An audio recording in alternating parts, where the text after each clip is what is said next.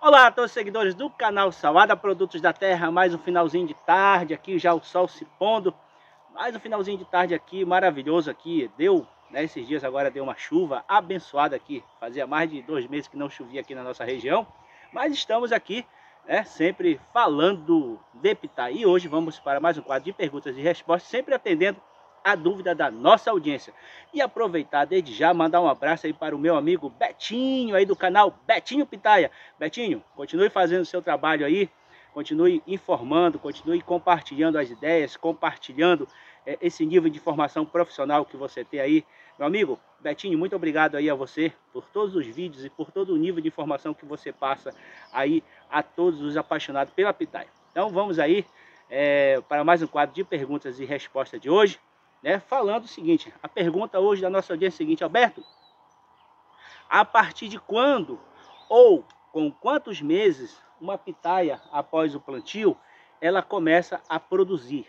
Bom, olha só, nós temos aqui, essa, essa pitaia aqui é uma teruia, tá? É uma teruia, presente aí do meu amigo Rafael Yonamini, aí de São Paulo, que me presenteou essas mudas aqui. Olha aqui, é, ela foi plantada, subiu aqui, ó, já tá, chegou aqui na, na, na estaca. Então só para mostrar para vocês quando que essa muda é, começa a entrar em produção. Bom, aí para a nossa audiência, né? é o seguinte, esses cladóides aqui, eles vão crescer um pouco mais. Então depois que esses cladóides passar aqui, a gente vai cruzar eles aqui, um para lá, outro para cá. Então geralmente depois que o cladóide cresce, que ele, ele vai com o galho e esse galho, esse cladóide, ele aponta para baixo, ela já pode se dizer que uma planta já vai iniciar, ou ela já tem capacidade de iniciar ah, o período de produção dela. Então, do plantio até ela formar essa copa, é em torno de seis, né, seis meses a oito meses, dependendo do tipo de adubação, dependendo do tipo né, de muda, dependendo do tamanho da muda. Uma boa muda, sempre eu falo, é de 40 até 80 centímetros, é uma muda de bom tamanho. Não precisa menos e também não precisa mais, tá? É, mas está aqui, ó. Essa aqui é uma teruia, tá formando, começou a abrir aqui. Então eu creio que essa aqui, mais uns dois meses aí, ela já começa a entrar em produção. Então, é, uma boa muda, depois que planta, é em torno de seis a oito meses, ela já começa a produzir os primeiros frutos, tá certo? Então, é muito importante que você não, não tenha não tem ataque de lagarta. Né? Logo no início, essa aqui eu tive um ataque de lagarta, eu descuidei, eu descuidei e a lagarta comeu duas vezes, por duas vezes o broto. E isso atrasa, atrasa muito, né? Porque até brotar de novo, ela demora em torno de 30 e até 60 dias para a gente ter um novo, uma nova brotação.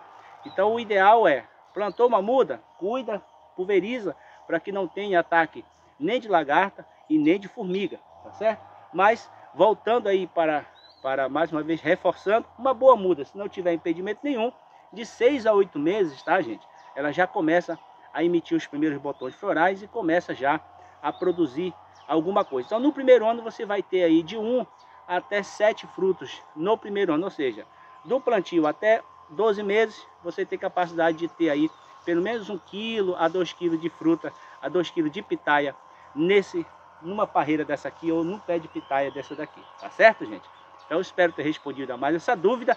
Lembrando que para você que queira aprender tudo sobre a cultura da pitaia, não sabe por onde começar, acesse o nosso curso, são mais de 5 horas de conteúdo, onde você pode aprender todos os segredos, onde você vai aprender todos os segredos e técnicas do manejo do cultivo da pitaia.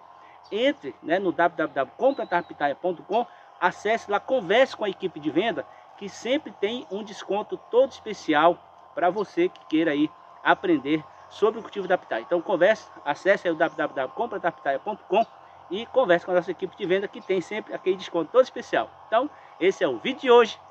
E hoje o um abraço todo especial aí vai para um casal, né? Osvaldo Mato e Dona Dolores, que tem o um canal aí no Instagram, Mimos da Lola. Então, para você aí que gosta aí de acessórios para culinária, para cozinha, né? Para você que gosta desses aventais personalizados, para você que gosta, né, de fazer aqueles panos de proteção de alimento, né, para você proteger ali o pão, o bolo.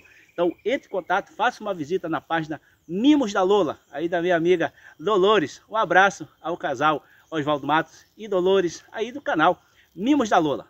Até o próximo vídeo.